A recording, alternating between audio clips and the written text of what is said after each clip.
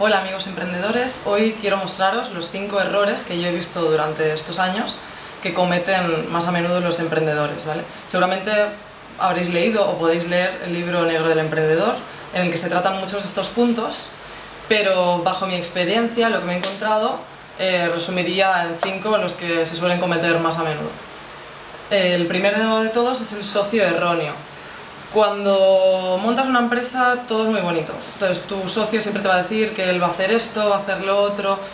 Eh, mi consejo es definirlo todo muy bien en un papel. ¿Por qué? Porque luego resulta que te había dicho que iba a trabajar 12 horas al día y solo, solo pasa dos horas por la oficina. Eh, te decía que iba a vender, resulta que no tiene ni idea de vender. O sea, todo tiene que quedar como muy, muy cuadrado y mejor que lo apuntéis todo desde un inicio porque luego lleva peleas, imagínate que el socio es tu amigo y al final acabas teniendo una disputa con él simplemente por un tema de, empresa, no merece la pena. Mejor que quede todo cuadrado, que uno pueda decir, oye, habíamos quedado en que tú harías esto, yo haría lo otro, que quede todo bien pautado.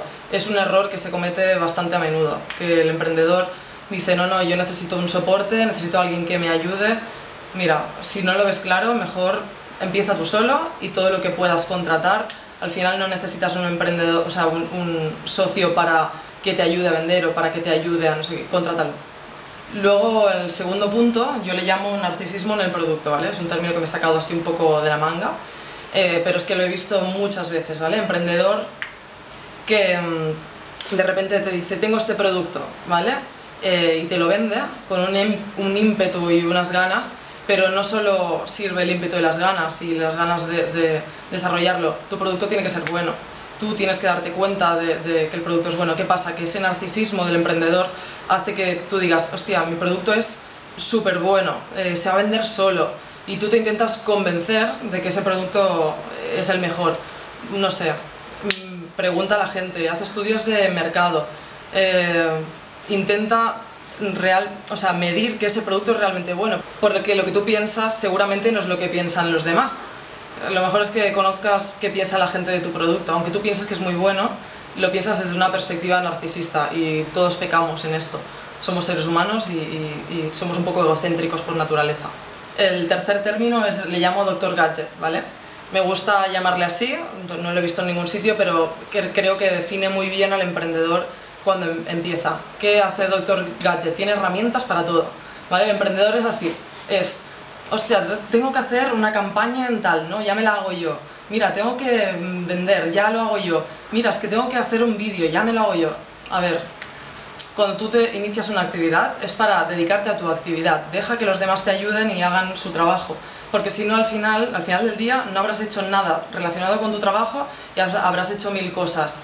A ver, está muy bien que cuando hay pocos recursos eh, empieces haciéndote cositas tú solo, pero piensa que un profesional siempre lo va a hacer mejor que tú.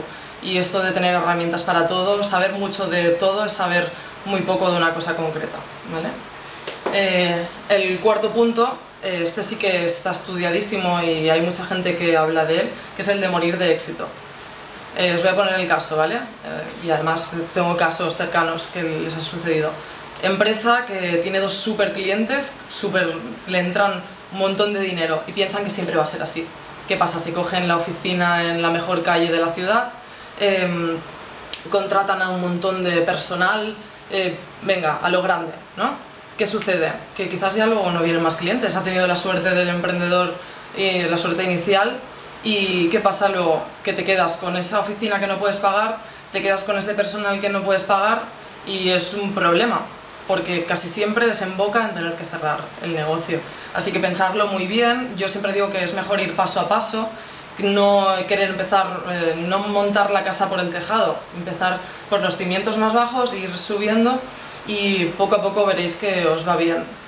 Que está muy bien arriesgar, pero sabes que el riesgo tiene, bueno, como su palabra dice, tiene un riesgo, ¿vale? Entonces, eh, vigilar mucho con esto. Y el quinto es el que más le preocupa a todos los emprendedores, que es no vender.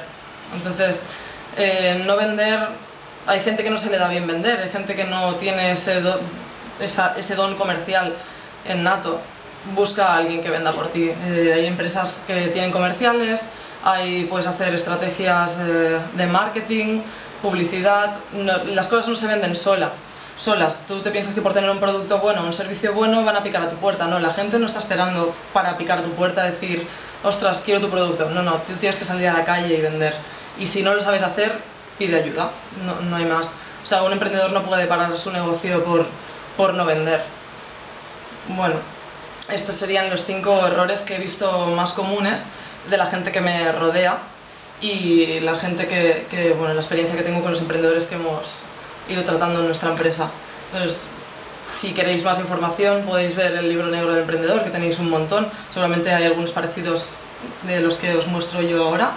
Y, y nada, espero que os hayan servido, que os sirva como consejo y que no, no caigáis en ninguno de ellos.